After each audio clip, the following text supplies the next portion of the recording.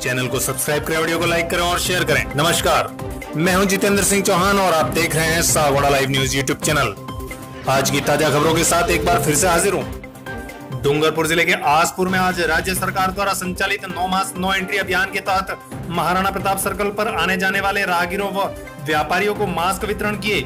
SDM Praveen Kumar Meena, तहसीलदार गौतम लाल कुम्हार, नायब तहसीलदार वीरेंद्र सिंह, थाना अधिकारी राजेंद्र सिंह चौहान वेद प्रकाश मीणा, ग्राम पंचायत विकास अधिकारी हिम्मत सिंह चुंडावत, ब्लॉक चिकित्सा अधिकारी डॉक्टर अलंकार गुप्ता, जलदाय विभाग कोदरलाल मीणा, कांग्रेस ब्लॉक अध्यक्ष करण सिंह चौहान, जिला उपाध्यक्ष गजेंद्र सिंह खरोड़िया, प्रवीण कोठारी, मणिलाल जोशी, पुलिस कांस्टेबल लोकेंद्र सिंह, राजेंद्र सिंह, कई अधिकारी के नेतृत्व में मास्क वितरण किए।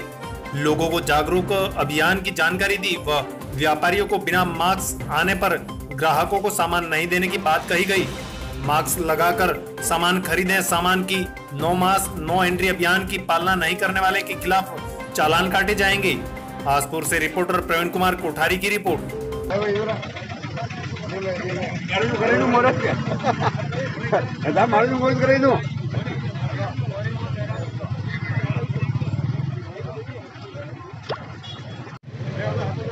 Yeah, okay.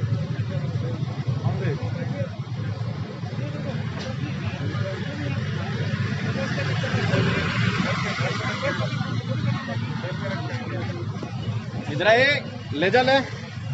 जरा। ले मास्क ले जा। बोलो दो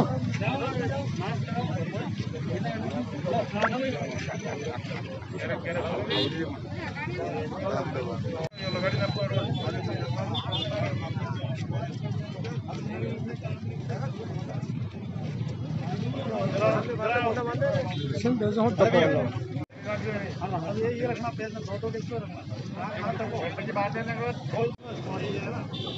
ज़्यादा जानकारी के लिए आप हमारी वेबसाइट विज़िट कीजिए www.wagarlive.in या प्ले स्टोर पर वागर लाइव एप्लीकेशन सर्च कीजिए। आप हमारे चैनल पर विज्ञापन प्रसारित करवा सकते